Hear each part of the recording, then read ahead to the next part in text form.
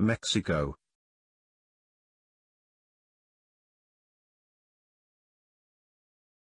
Mexico, officially the United Mexican States, is a country in the southern portion of North America. It is bordered to the north by the United States, to the south and west by the Pacific Ocean, to the southeast by Guatemala, Belize, and the Caribbean Sea, and to the east by the Gulf of Mexico.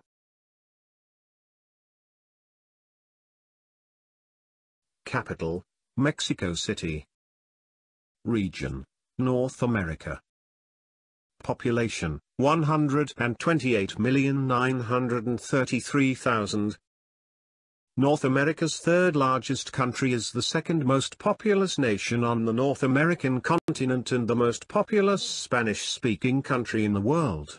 It may come as a surprise, but Mexico is also the country with the third highest Christian population in the world, 92.4%.